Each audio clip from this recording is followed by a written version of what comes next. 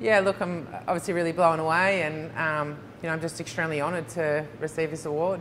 Look, you never go in thinking about it or worrying about it or trying to earn it. Um, you know, it's just for me, it's about playing consistently and just trying to do what I can to help the team. Obviously, I was extremely honoured to sit level fourth with Loz. Um, you know, and to go out and win it a fifth time. Um, yeah, I'm just extremely, um, you know, honoured. Negatives, and obviously one of the biggest negatives is you know, getting knocked out in the semis. Um, but yeah, look, I think with a new coach and um, you know a pretty pretty new team, I thought there was some really good aspects of this year, and I think we learned a lot. And you know, and obviously we just got to build and, and keep working.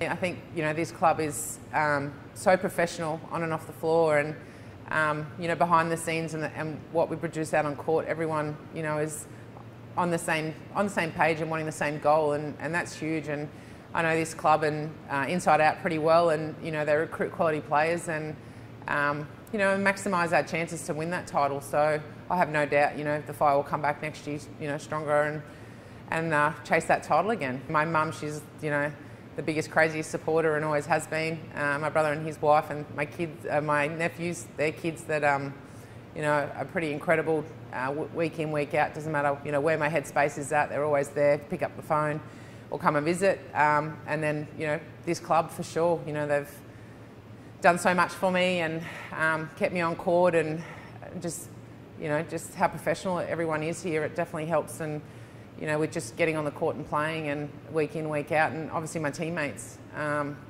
you know, obviously I've played with Mia um, and Mick for the longest time that I've been here, and um, both great people, and you know, Mia in particular being a vice captain with me, and um, you know, formed a friendship over the years, and you know, just you, I guess you learn about people, and you, you, know, you form those friendships, and that's the great thing about being in a team sport. And um, you know, I can't thank those people enough.